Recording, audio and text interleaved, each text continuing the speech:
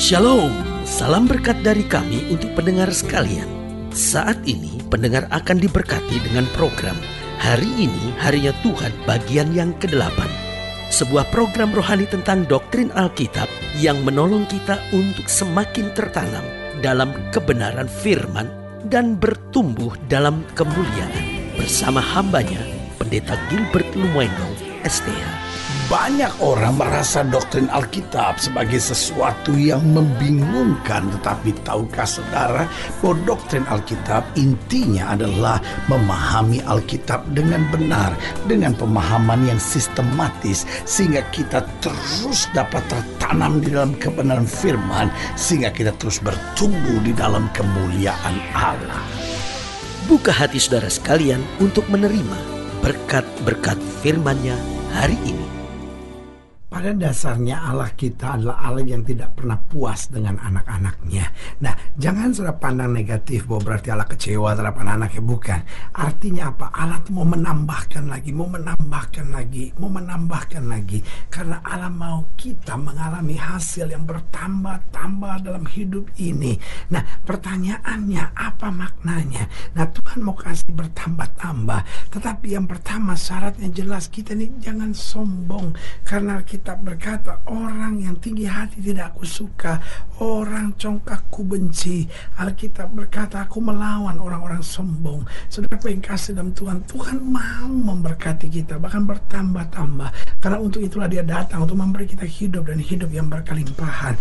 Tetapi persoalannya sering kali, ketika kita mulai diberkati, ketika Tuhan menambah-nambahkan segala dalam hidup kita, apa yang terjadi? Kitanya bukan sadar, kitanya bukan makin dekat sama Tuhan Tuhan. Kitanya bukan makin bersyukur, kitanya bukan makin takut sama Tuhan, kitanya bukan makin setia melayani Tuhan. Tapi apa yang terjadi? Kita mulai jadi sombong, kita mulai merasa diri yang hebat, kita mulai merasa semua karena jasa kita, kita mulai merendahkan orang lain. Saudaraku yang kasih dalam Tuhan harus jujur saya ingatkan, Tuhan gak suka, Tuhan bisa mengangkat, tapi Tuhan juga bisa merendahkan. Tuhan bisa memberi, tapi Tuhan juga bisa mengambil. Di mana dia lihat ada kerendahan hati, dia lepaskan berkat. Tetapi di mana dia lihat ada kesombongan, dia rampas berkat dari hidup kita. Karena itu Tuhan mau menambah-nambahkan segala hasil kita. Tetapi satu yang harus kita jaga, jangan kita sombong, tetap rendah hati, tetap sadar semua dari Tuhan, tetap andalkan Tuhan, maka segala anugerahnya kita alami setiap hari dalam hidup kita. Yang kedua, Allah mau kita mengalami hasil yang bertambah-tambah asal kita tetap fokus pada Tuhan, tetap fokus pada pekerjaannya. Makanya kita bilang, cari dahulu kerajaan Allah serta kebenarannya, maka semuanya akan ditambahkan dalam hidupmu. Oh Tuhan tidak mencari orang-orang yang fokusnya pada kekayaan, keberhasilan, kesuksesan. Karena orang-orang yang fokusnya hanya pada kekayaan, keberhasilan, kesuksesan sering kali kemudian akhirnya jatuh pada menghalalkan segala cara. Tetapi orang kalau fokusnya pada Tuhan dan kerajaannya, otomatis dia takut berbuat dosa. Otomatis dia tidak akan kompromi pada hal-hal duniawi. Tetapi otomatis dia akan berjalan terus di jalan Tuhan. Dan dia melihat janji-janji Tuhan dinyatakan. Karena Tuhan mau menambah-nambahkan segala hasil kita. Tapi yang pertama jangan sombong. Yang kedua mari kita tetap fokus pada Tuhan dan pekerjaannya. Cari kerajaan Allah serta kebenarannya. Supaya Tuhan akan tambahkan lebih dan lebih lagi dalam hidup kita. Dan yang ketiga asal kita tidak lupa diri. Waduh ada banyak orang udah diberkati Tuhan udah sukses. Tadinya cinta Tuhan tadinya melayani Tuhan tadinya sungguh-sungguh tadinya sayang sama istri tadinya tunduk sama suami. Tapi sekarang karena Tuhan mulai menambah-nambahkan usahanya bahkan ada istri yang gajinya sekarang udah lebih besar dari suaminya pendapatan penghasilannya udah lebih besar dari suaminya. Wah berubah. Istri yang tadinya lemah lembut istri yang tadinya tunduk pada suami sekarang menjadi istri yang kasar dan arogan. Kamu kerja apa sih penghasilan kamu? Saya bikin kue aja hasilnya jauh lebih banyak dari kamu. Lihat kita punya hasil nih semua anak sekolah tuh karena saya bukan karena kamu. Waduh jadi arogan begitu. Saudara gue yang kasih dalam Tuhan yang saya bilang lupa diri, lupa diri. Ada banyak orang udah sukses. Wih punya perempuan lagi. Wah ini lupa diri nih.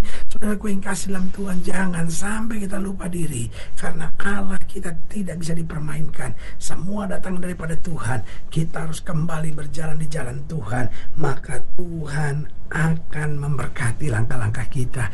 Yang keempat saya pelajari, Allah mau kita bertambah-tambah asal kita terus mau belajar lagi, terus mau belajar lagi, terus mau belajar lagi. Saudara yang kasih dalam Tuhan, karena apa pun yang Tuhan izinkan terjadi, ataukah itu menyenangkan ataukah itu tidak menyenangkan, pasti ada maksud Tuhan.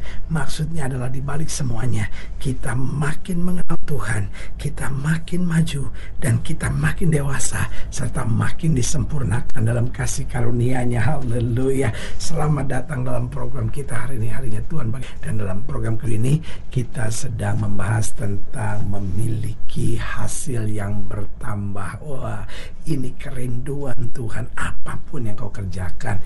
My God is not God of status. Allah saya bukan Allah yang statis. Allah saya adalah Allah yang mau lihat kita bertambah-tambah, bertambah-tambah. Seorang berkata, He is an overflowing God. Dia itu Allah yang selalu mau melimpahkan, akan melimpahkan lagi, melimpahkan lagi dalam kehidupan kita. Haleluya.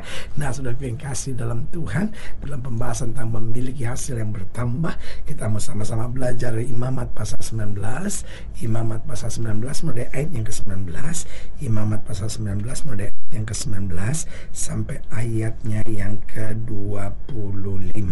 Demikian firman Tuhan. Kamu harus berpegang kepada ketetapanku Janganlah kawinkan dua jenis ternak dan janganlah taburi ladangmu dengan dua jenis benih dan janganlah pakai pakaian yang dibuat daripada dua jenis bahan.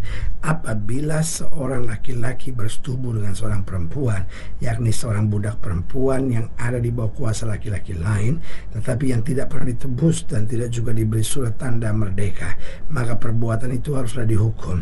Tetapi janganlah keduanya dihukum mati karena perempuan itu belum dimerdekakan.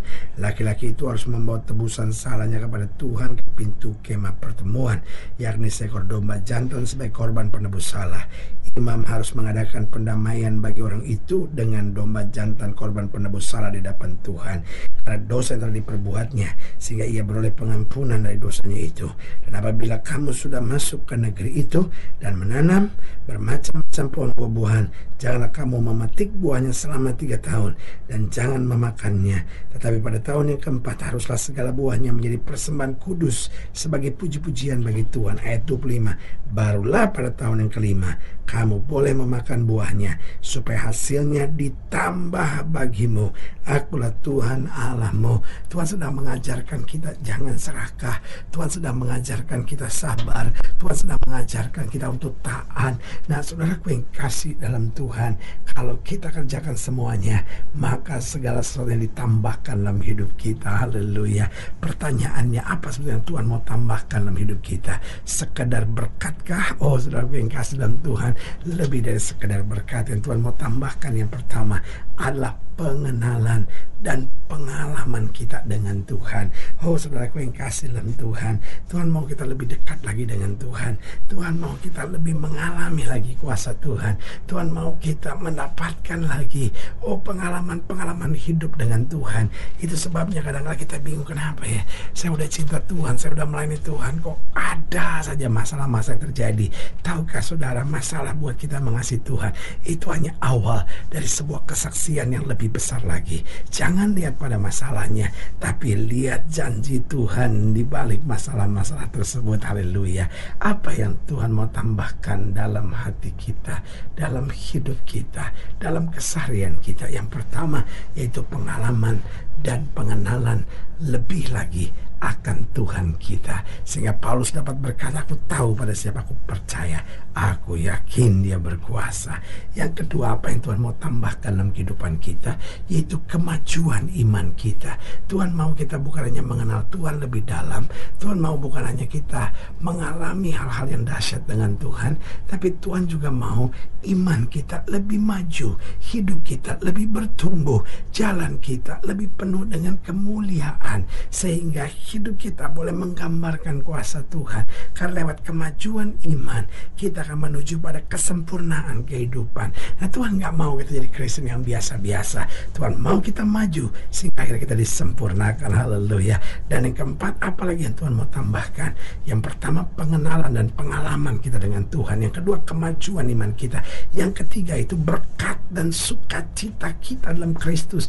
Ini yang dia mau tambahkan supaya kita jangan sampai jadi orang percaya yang terus mengeluh, bersungut-sungut, tetapi dapat terus bersorak-sorai karena Tuhan senang lihat kita senang. Dia berkati kita, dia curahkan sukacita dan dia lakukan perkara-perkara yang luar biasa. Haleluya. Dan yang keempat yang terakhir, apa yang Tuhan mau tambahkan dalam kehidupan kita yaitu kedewasaan kita dan pengenalan pengetahuan kita akan firman Tuhan. Sehingga kita makin dewasa. Sehingga mau ada tantangan mau ada masalah kita semakin akrab bergaul dengan firman Tuhan. Karena Alkitab dengan tegas berkata, jika kamu tinggal dalam aku dan firmanku tinggal dalam kamu, minta apa saja, maka aku akan memberikan kepadamu. Alkitab dengan tegas sudah berkata bahwa firman Tuhan itu adalah pelita bagi kaki kita dan terang buat jalan-jalan kita. Haleluya. Saudara yang kekasih dalam Tuhan, jika saudara nilai lebih jauh, hubungi kami melalui telepon, hubungi kami melalui surat, kunjungi website kami. Karena kami ada untuk membawa Bapak Ibu sudah senantiasa lebih dekat pada Tuhan dan mengalami kasih kuasa mujizat yang luar biasa. Haleluya. Secara khusus melalui program ini juga saya mau berdoa buat siapa yang sakit, siapa yang berbawaan berat karena saya percaya bahwa bagi Allah tidak ada perkara yang mustahil. Nah, saudara yang didoakan secara khusus boleh taruh tangan kanan di dada dan kita akan berdoa. Mari kita berdoa. Bapak dalam nama Yesus sama doa yang sakit, sama doa yang berbeban berat, sama doa untuk setiap yang sedang menghadapi masa-masa yang sukar. Karena Bapak percaya bahwa bagi Allah tidak ada perkara yang mustahil. Bapak berdoa di dalam nama Yesus Tuhan jamaah anugerah kasih karunia kuasa berkat Tuhan yang sempurna boleh terus mengalir. Bahkan mereka yang tangan kanan yang tidak ada Tuhan jamaah sehingga mereka juga menerima kelegaan sehingga apa pun yang kami kerjakan Tuhan tambah-tambahkan berlipat kali ganda. Di dalam nama Yesus kami berdoa. Haleluya. Amin. Saudara yang kasih dalam Tuhan kita sudah berdoa Ingat Allah tidak pernah lalai menepati janjinya Inilah saatnya buat kita untuk bangkit bersemangat Bersuka cita dalam menghadapi segala perkara Karena kita tahu Yesus hidup Yesus berkuasa Dan selalu menyediakan yang terbaik buat anak-anaknya Doa saya menyertai saudara Sampai berjumpa pada program berikut Dan jangan lupa Jadikan hari ini harinya Tuhan Haleluya